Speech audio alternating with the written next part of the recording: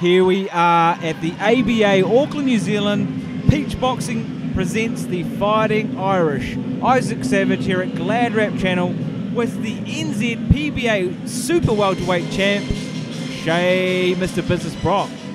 Welcome here tonight. Thanks, Isaac. Always a pleasure to be here. And what a night of fights we've had so far, and it's only going to go up from here. So Well, like we said, they've ordered a few kegs of Guinness. They've already been drunken. The crowd are on their feet. It's absolutely bursting at the seams. And now we've got Simon Donnelly, who's the brother of main event Bryan Donnelly. He's flying all the way over from Sydney to fight here tonight in Auckland, New Zealand.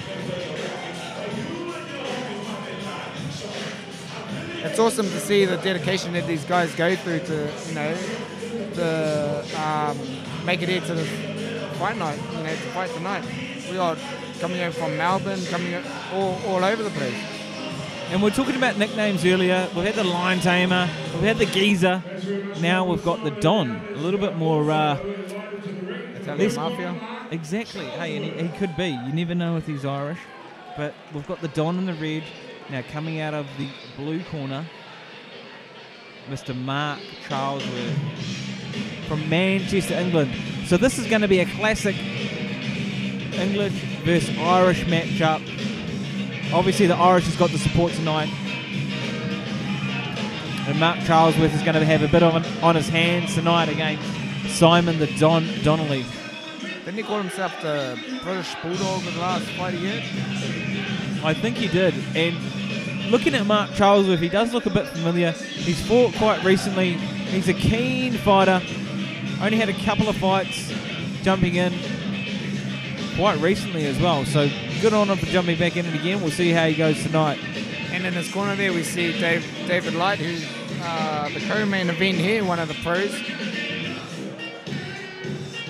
And if anyone was watching recently, David Light, former Olympian, fought on his first pro fight two weeks ago on Sky TV, putting down Louis K9 Tio. What a fight that was. What a fight! The black and red trim, would you welcome him, please? He's 34 years of age, from Melbourne.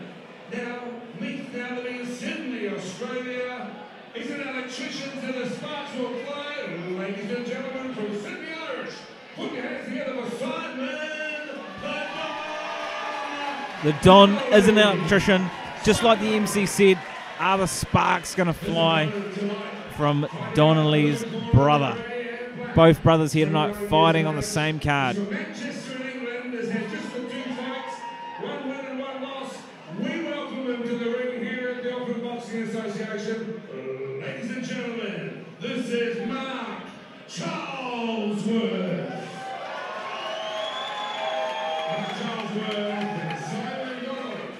Charlesworth, not too far off the age of the Don, a few years younger, same height. Everything's relatively um, identical. It's just going to come down to who wants it more, who's got the grit, and who wants to take the win home. The Don or the British Bulldog? And it's going to be typical uh, grudge match between the two nations here. With the English and the Irish. Bit of bad, bad blood between the two, uh, I'd suspect.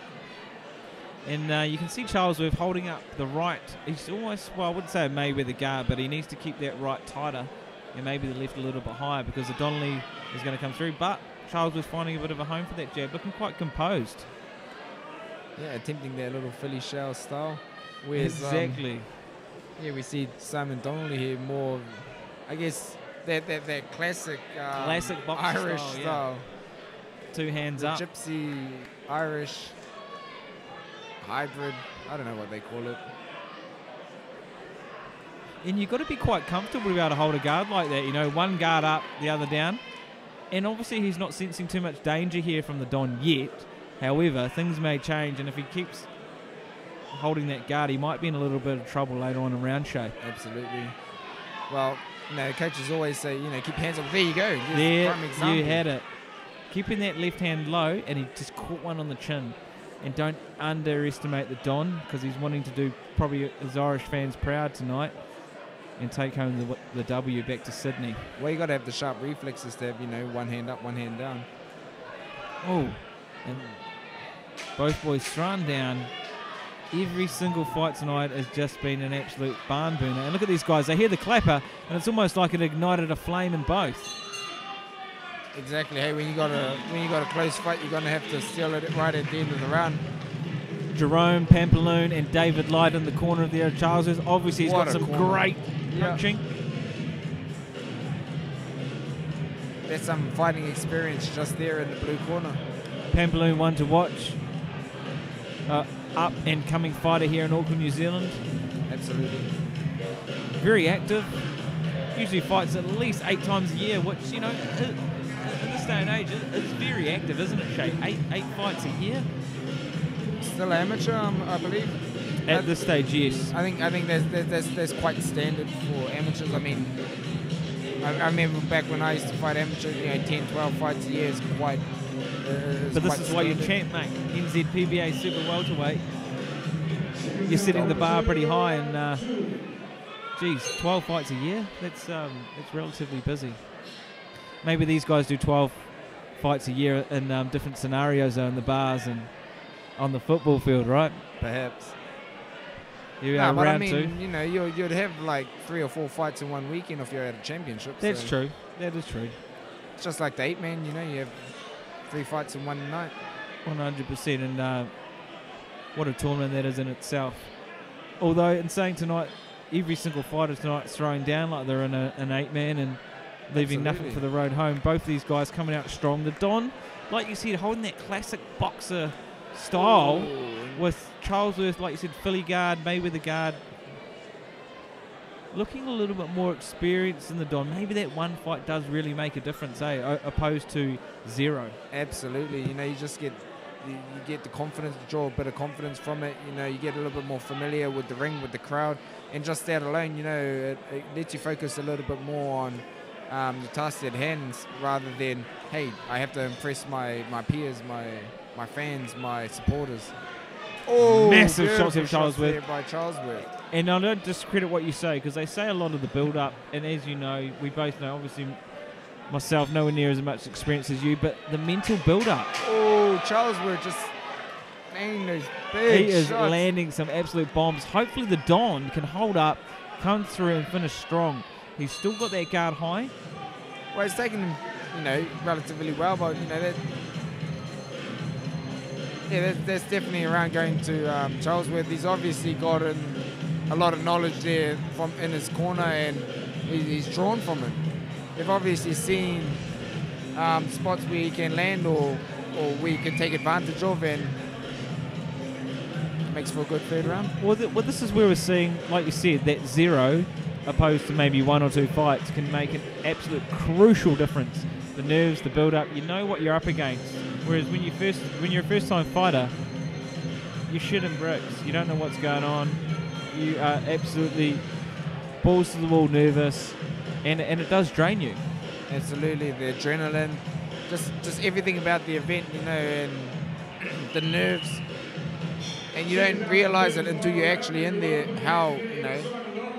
Well, you know, you're here now. It, it, you know, you don't actually realize. You know, you can't. You can obviously see how nervous or how tense the guys get, but you never know until you know. Exactly, and you know everything changes. Eh, once you're under those bright lights, the the bell dings. It's either you or him, right? Kill or be killed. Exactly. fight or flight. And we are now in the third and final. The Don holding a tight guard, still looking like he's in this game. Definitely, he's coming out looking. He's moving his head a lot more. He's And Charlesworth looking very confident, coming forward. Well, after that last round, you know, he's he's he- he's got to be confident coming off their last round. And the Don, he's, he's looking better in this round. Um, the better of the two, he's landing the better shots, just as we say that. You know, the commentators Just curse. commentators and he curse. turns his back. Just as you said that, he starts getting rocked. He's coming forward though. Charlesworth certainly being the aggressor in most rounds, but he's still taking a little bit of punishment Yeah, well, here from the Don. You were talking about the left hand being down. Now both hands are down. Swinging. Just as we say that, some massive shots there. Charlesworth putting the uh, elbow there on the jaw or throat of the Don. We don't want to throw any MMA moves in here tonight, but it almost seems inevitable. We saw a kick earlier on. And a don't, knee. obviously, the judges didn't pick up on that, but we certainly saw it up here. There's the clapper.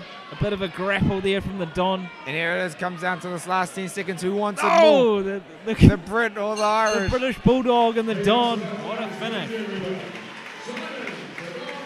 Hey, no kicks or knees or headlocks that round, but what a fight. What a fight. That was, there's got to be. Well, we're only up to the fourth fight. Yeah, and that, that's definitely. It's definitely building. Each each fight is getting better and better, and the crowd are right into it. Hey, there's my mate Chad. And don't forget, the Don Simon Donnelly flew all the way from Sydney just to fight tonight. He actually leaves on Sunday, Monday if he makes that flight back, if he doesn't party too hard. And Mark Charlesworth the British Bulldog from Manchester, but now residing here in Auckland. So we're going to see now what the judges thought of that one as we go to the scorecards.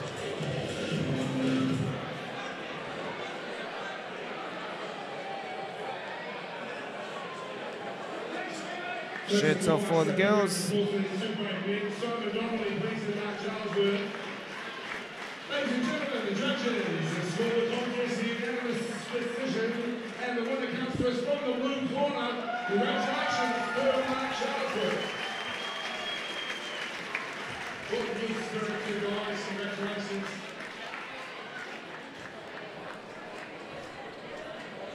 Well, Mark, do you want to anything, mate? You happy enough to take the victory?